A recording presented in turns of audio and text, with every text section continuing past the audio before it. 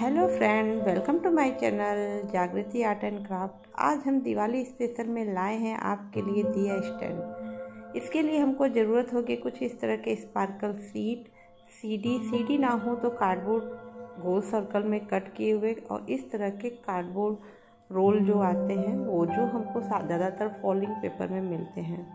तब से हम, पहले हम सीडी से थोड़ी बड़ी इस तरह से स्पार्कल सीट को कट कर लेंगे। नीचे हमने सीडी नहीं कार्डबोर्ड को कट करके लगाया है। ऊपर हम सीडी वेस्ट करेंगे। हमारे पास दो सीडी है जिससे हम दो स्टैंड बनाने वाले हैं। तो नीचे के लिए हम कार्डबोर्ड यूज़ कर रहे हैं। उस पर इस तरह से हमने स्पार्कल सीट लगा लिए हैं। ऊपर हम ये स्पार्कल सीट लगा रहे हैं। ऊपर की सीट से थोड़ी सी बड़ी मैंने स्पार्कल सीट कट की है। उसके ऊपर इस तरह से स्पार्कल सीट रख के और हम उसको पेस्ट कर लेंगे। दूसरी साइड हम सिल्वर कलर का स्पार्कल सीट यूज़ करेंगे।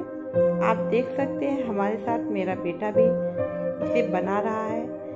इसी तरह आप लोग भी अपने बच्चे के साथ इस तरह के डेकोरेटिव आइटम बना सकते हैं और बच्चे इसको बहुत इंजॉय करेंगे। हमारे पास जो रोल है, उस पर हमने सिल्वर स्पार्कल सीट को रैप करने के लिए कट कर लिया है। पहले मैंने उसको नाप लिया कि वो कितना बड़ा है, उसके अकॉर्डिंग पेपर कट कर लिया अब मैं उसको लगाऊँगी।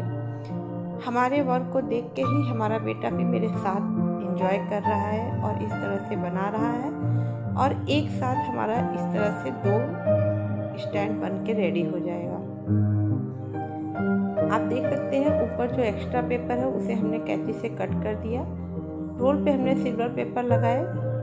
अब नीचे हम जो हमारे कार्डबोर्ड पे हमने स्पार्कल सीट लगाया है, उसको लगाया और ऊपर हम सीडी लगा रहे हैं। इसके लिए हम ग्लू गन का यूज़ कर रहे हैं। अगर आपके पास ग्लू गन ना हो तो आप जो है फेविकोल या फैब्रिक ग्लू का भी यूज़ कर सकते हैं। डेक डेकोरेशन के लिए हम इस पर स्टोन्स वगैरह लगाएँगे, जिसके लिए हम फैब्रिक फैब्रिक ग्लू का यूज़ कर रहे हैं। इस तरह के कुछ स्टोन्स हैं जो मैं लगाऊँगी। पर ये स्टोन ज़्यादा छोटे हैं तो मैं थोड़े बड़े स्टोन इस तरह के इस पर लगा रही हूँ। थोड़ी थोड़ी दूर पे। और साथ ही साथ हमारा बेटा भी इसको इंजॉय कर रहा है और उसे देख देख के बना रहा है।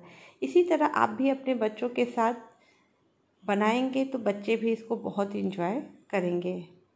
नीचे भी मैं कुछ स्टोन से इसको डेकोरेट कर रही हूँ। आप देख सकते हैं, हमारा इस तरह से बन गया है। अब हमारे पास कुछ पल भी हैं जिसे मैं स्टोन के बीच में लगा रही हूँ। इस तरह से मैं स्टोन के बीच में एक एक पर्ल लगा रही हूँ, मोती।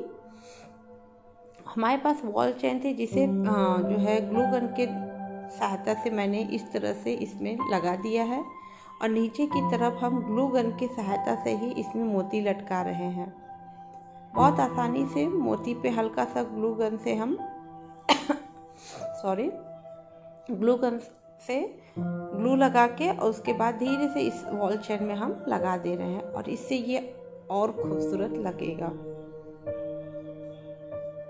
अब हमारे पास कुछ कांच के टुकड़े हैं जिसको मैं इस पर लगा रही हूँ। कांच के टुकड़े मैं इसलिए लगाती हूँ कि जब इस पर लाइट या दिया हम जलाएँ तो उसका रिफ्लेक्शन की वजह से ये कांच के टुकड़े बहुत अच्छी लाइट फेंकते हैं। इसलिए मैं अपने दिया में या फिर दिया स्टैंड में कांच के टुकड़े लगाना प्रेफर करती हूँ। मुझे अच्छा लगता है। आप देख सकते हैं, इसके ऊपर इस तरह से नॉर्मली मार्केट में कैंडल स्टैंड मिलता है, उसको रख सके हम जला सकते हैं, या फिर डायरेक्ट आप दिया रख के भी जला सकते हैं। मैं इसको चिपकाने वाली नहीं हूँ, क्योंकि दिवाली के बाद मैं इसे किसी अनडेकोरेटिव आइटम में यूज़ करूँगी छोटे छोटे प्लांट रख के या फिर कुछ भी रख के, आप चाहें तो चिपका सकते हैं। Thank you for watching my video thank you everyone thank you so much